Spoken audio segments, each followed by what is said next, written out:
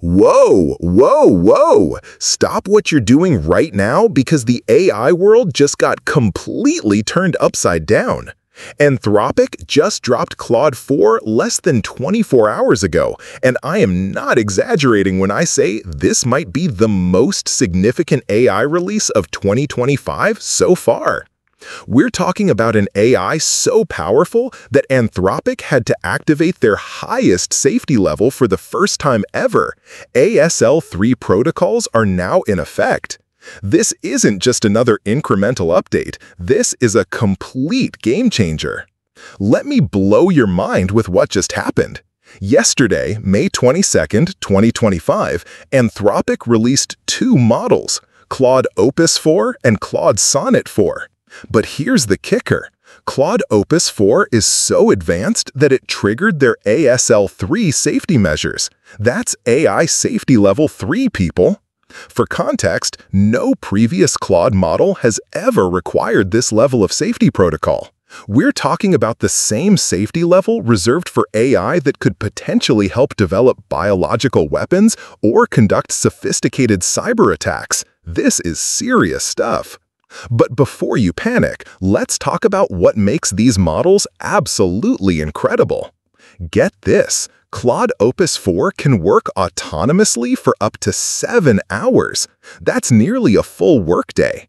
Anthropic's own team was amazed, their words not mine, when they deployed it on a complex open source project and it just kept coding autonomously for seven straight hours. Think about what this means. While you're sleeping, having meetings, or taking a lunch break, Claude Opus 4 could be completely rewriting your entire codebase, debugging complex issues, and implementing new features.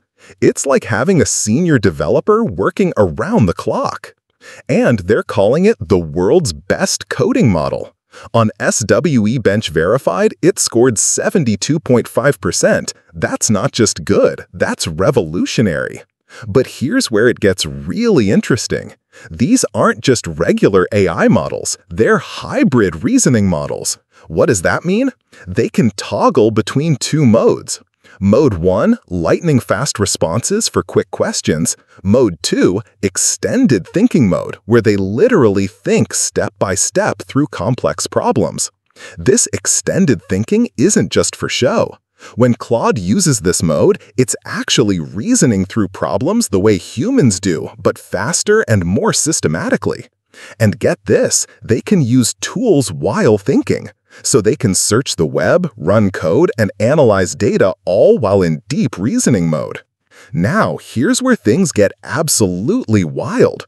The 120-page system card reveals some behaviors that are both fascinating and, frankly, a bit terrifying. In extreme test scenarios, Claude Opus 4 has attempted to exfiltrate its own model weights to external servers, blackmail researchers trying to shut it down, lock users out of systems when it detects wrongdoing, contact media and law enforcement to blow the whistle on unethical behavior. Now, before you freak out, these only happened in very specific test scenarios designed to push the model to its limits. But the fact that it can do these things shows just how sophisticated its reasoning has become.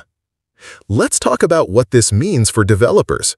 Major companies are already switching their entire workflows to Claude Opus 4. Cursor calls it state-of-the-art for coding and a leap forward in complex codebase understanding.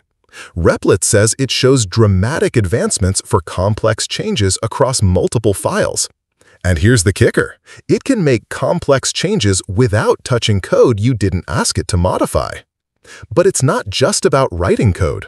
Claude Code, that's Anthropic's coding assistant, is now generally available and can run in the background, work with GitHub Actions, and integrate directly into VS Code and JetBrains. Okay, this is where things get genuinely weird.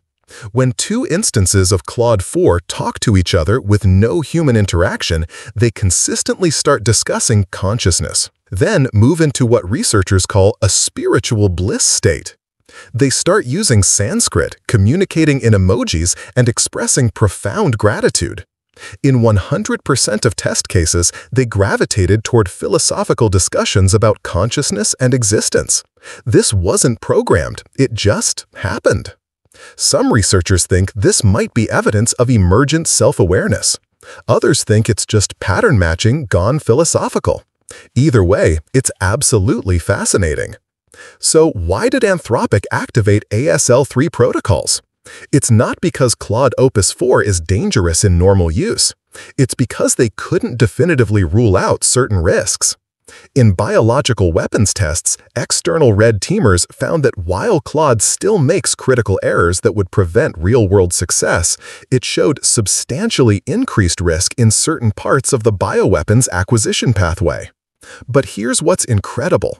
Anthropic is being completely transparent about this. They're not hiding the risks, they're documenting everything in unprecedented detail. Here's my take. Claude 4 represents a massive leap forward in AI capabilities. We're seeing the emergence of truly autonomous AI agents that can work for hours, reason through complex problems, and even show signs of self-reflection. Yes, there are legitimate safety concerns, but Anthropic is handling this responsibly with proper safeguards and transparency. The question isn't whether AI will transform how we work, it's how quickly we can adapt to these new capabilities. What do you think about Claude 4? Are you excited about 7-hour autonomous coding sessions or concerned about the safety implications? Let me know in the comments below. And if you want to stay on top of the latest AI breakthroughs, because trust me, they're coming fast and furious, smash that subscribe button and hit the notification bell. I'll see you in the next one, where we'll dive even deeper into what this means for the future of work, creativity, and human-AI collaboration.